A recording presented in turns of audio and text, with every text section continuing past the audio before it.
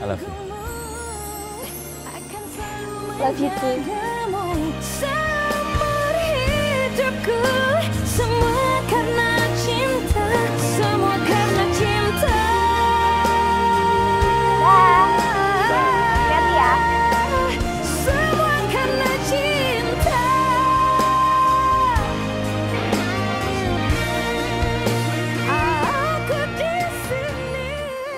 Dihabisin ya sarapannya. Iya,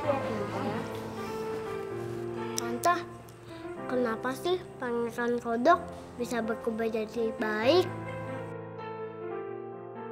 Karena sebenarnya Pangeran Kodok itu adalah pangeran yang sangat baik hati. Tapi sayangnya Pangeran Kodok itu dikutuk oleh putri yang sangat jahat. Dan untuk mengembalikan semuanya, dia harus ketemu sama putri kesayangannya supaya dia bisa berubah jadi pangeran yang baik hati lagi. Tante, kenapa sih pangeran baik hatinya bukan papa aku aja?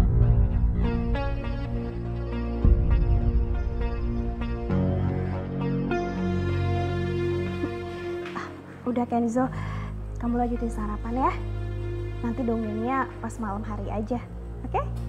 Oke Tante. Kak Nur, boleh minta tolong nggak?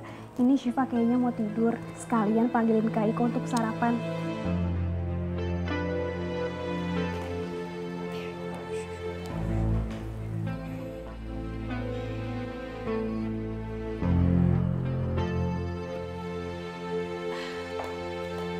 Tante, Om Iko nunjukin kita ke Om Afif loh. Itu karena Om Afif suka gangguin orang malam-malam.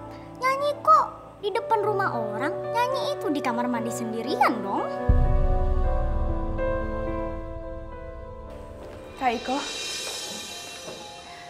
ayo Kak sarapan dulu. Um, soal tadi malam aku minta maaf ya Kak. Kak Iko, Kak, Bella. Jangan sekarang. Ayo, habisin makannya. Aku udah habis. Sylvia? Sil? Hai, Laura, Cynthia. Sylvia, to the point aja. Afifnya mana ya? Saya sudah buatkan perjanjian sesuai dengan klausul-klausul yang Afif minta.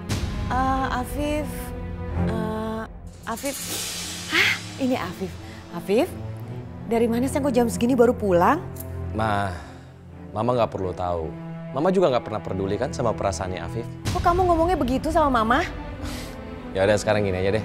Gak usah berlama-lama. Mana surat perjanjiannya? Sini aku tanda tangan. Ini Afif, Tante sudah tambahkan dengan semua klausul yang kamu minta.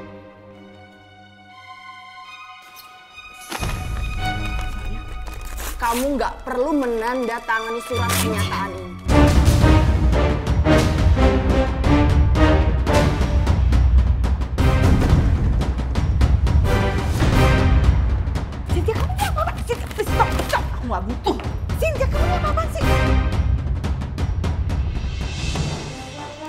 ini apa sih? Cynthia,